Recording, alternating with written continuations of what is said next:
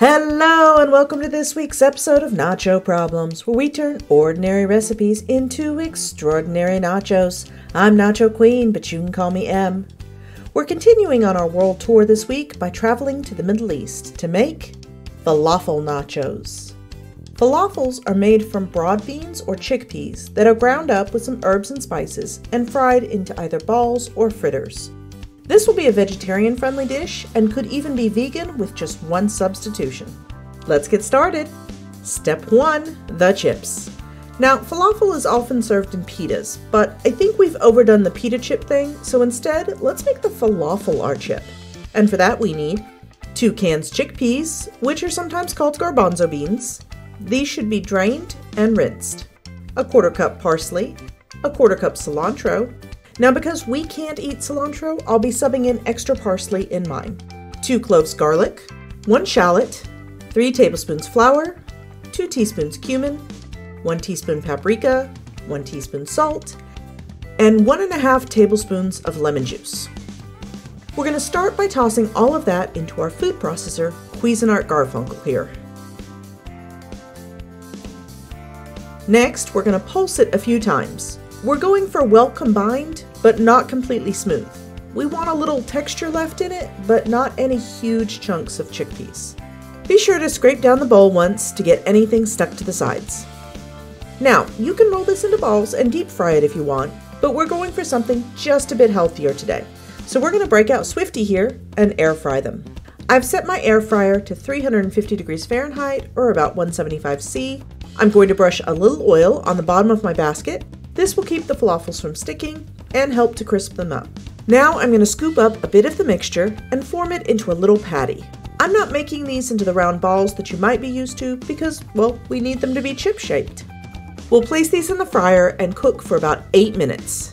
Then we're going to flip them over and cook for another 5 to 6 minutes.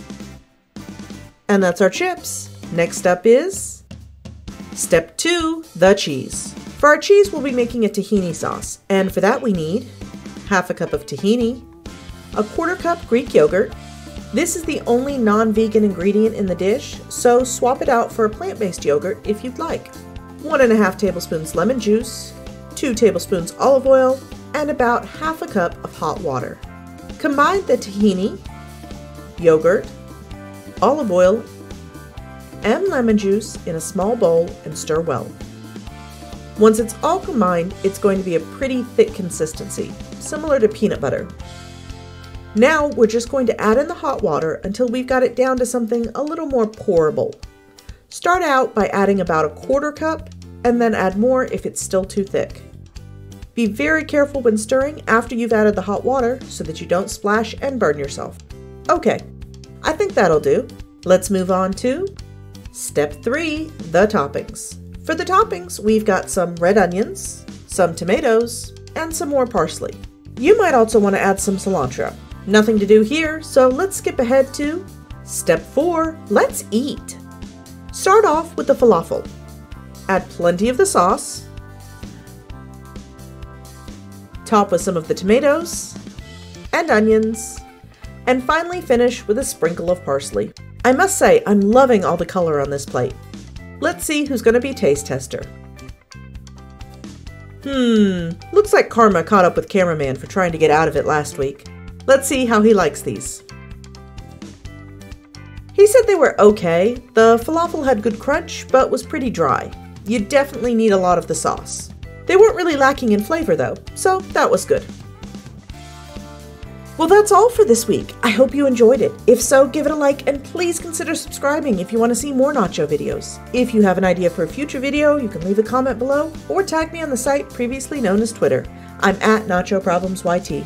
I've also linked my Bluesky below, but you won't find me on Facebook, Instagram, or Threads. If you're looking to steal my apron, well, that's nacho merch, but you can get your own at a link in the description. Now, we recently adopted a new dog who unfortunately thinks that anyone approaching our house is a threat to our very survival. But, unless you're a dog trainer in my area with reasonable rates and experience dealing with neurotic animals, or an unsuspecting delivery driver, that's not your problem. Thanks for watching, and I'll see you soon.